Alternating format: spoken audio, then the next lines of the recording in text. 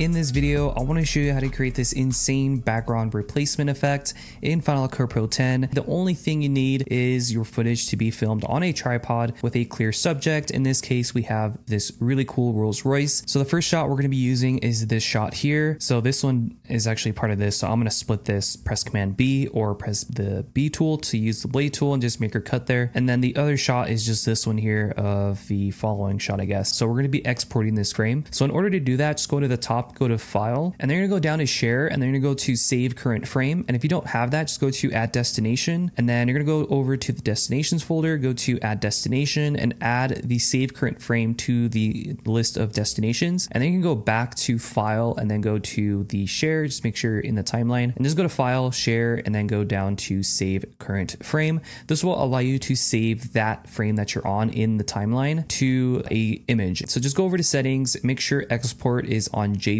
image. TIFF does retain the image quality a little bit better. So we're to stick with TIFF just to see what it looks like. So we're to go over to info, give the title a name. I'm to name this still frame one. And then we're to open up a photo imaging application that has the AI ability of removing or changing the background. I'm to be using Photoshop with the generative AI feature. Go ahead and open up Photoshop if you have it. If you don't have this, you can skip this step and go to any other application that you want to use. Once you have your image opened in Photoshop, what I'm going to use is the marquee tool, the rectangular marquee tool. You can press M on the keyboard to go to that tool. And what you're going to do is you're going to select your subject that you want to remove. In this case, we're going to be removing this Rolls Royce.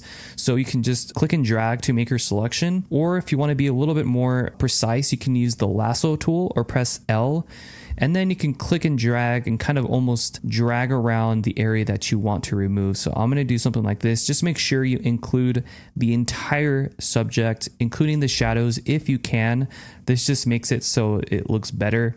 Um, if there's people in here, you want to also get rid of them as well. I'm first going to remove the subject from our image. So I'm going to right click in that selection. I'm going to go over to generative fill. So click on this generative fill button and a new window will appear. It will ask if you want to give it a, a, prompt. Just skip this and click on generate, and this will just remove whatever you have selected in your image. So you can see a before and after, it just completely removes the subject from our image, which is what you want. You can kind of skim through and see which one you like the best. I think this one is the best in my opinion. So I'm going to press command with this layer selected to select both of those. So command click and press command E. You can right click and go to merge layers or command E and this will merge it into one single layer like this. Go back to the marquee tool, the rectangular marquee tool, or whatever tool you want to use. I want to get rid of this top half image, but not the uh, road because that's where the car is going to drive on. So I might want to select a little bit more of this, holding shift to add to the selection. I might want to remove a little bit of this as well. I don't want to remove too much from this image. So I'm only going to remove up to this point here.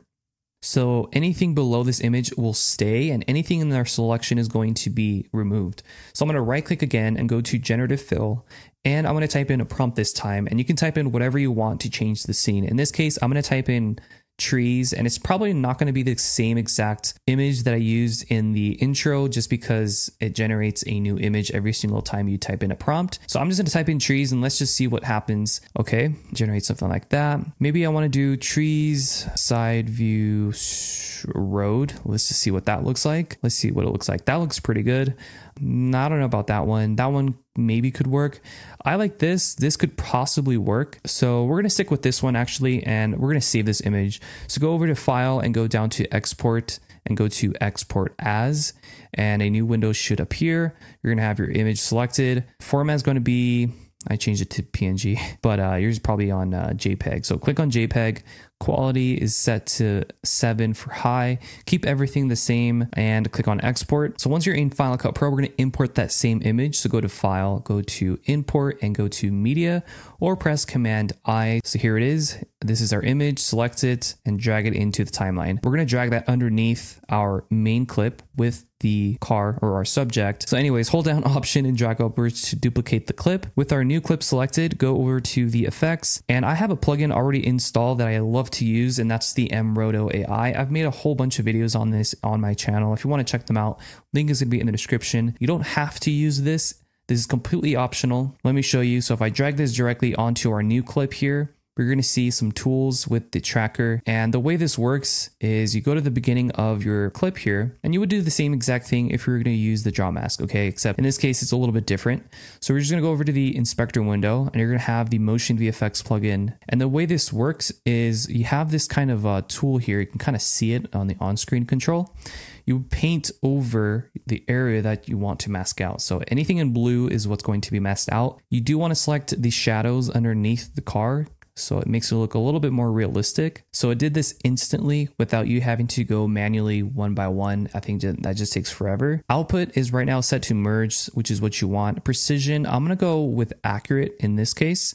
It will clear the path, so you're going to have to do this one more time. And that looks good. So now once you have your precision selected, I'm going to do accurate just because it has some shadows in there and I want it to look pretty good. I'm going to go over to smoothness and I'm going to increase this. These tools actually are for after you've tracked it. So we're going to go over to the tracker and we're going to track forwards in time because none of this has been tracked. So click the track forwards button and a new window will appear. You're going to see it's being tracked in real time.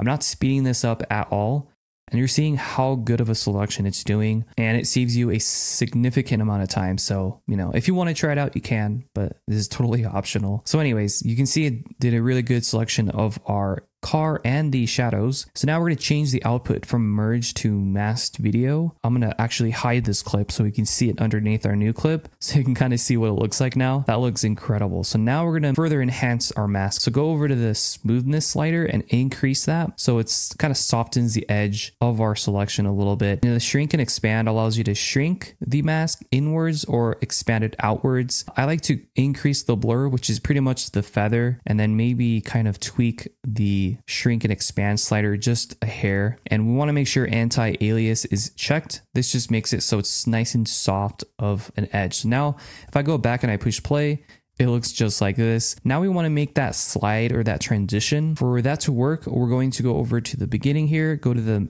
effects and then we're going to go down to the masks and keying and we're going to add the shape mask onto the middle clip here. We're going to go and zoom out to 50% so we can see the entire frame. I'm going to use these green circles on either end to extend the mask so that it's completely covering video and if we use this centerpiece and we drag it down we want to make the feather a little bit less so it's a little bit more dramatic of an effect and then just move it back over like this so that this is covered. Hold shift at the beginning of this clip and press the right arrow to go 10 frames inwards and then add the keyframe under position.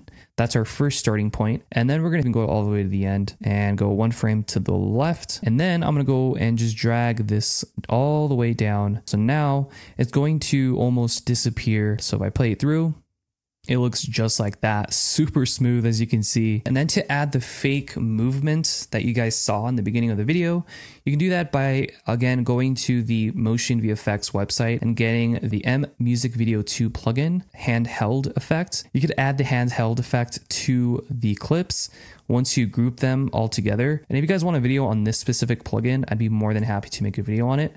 But here's what it would look like with the handheld effect. It just makes it more dynamic and more interesting of an effect. I highly recommend you do add some type of movement to this afterwards so that it looks like this. And then last but not least, we want to add some type of transition between this point and here. So what you can do is go over to the link in the description again, where you can find my editing packs. I have a free version, a free sample pack of this one if you want to try it out for your clips, but we're going to be using the Luma swipe transition. It's pretty much a transparent video that you overlay onto your footage. So here's the first one. It's the Luma swipe transition 4. And then here's the second one, number 15 looks like that. So we're going to be adding this one to the beginning, okay? You just literally drag it into your timeline and you're done.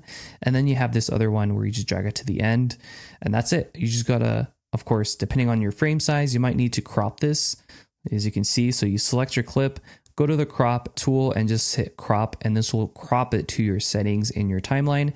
They are in 4K, so you're not gonna lose uh, any quality. So go to crop and just crop it to that and you're done. So now you can go back and push play and now you have a better way better transition of an effect that you can add to your music videos. Let me know what you think of this video in the comment section below, and uh, I'll catch you on my next video.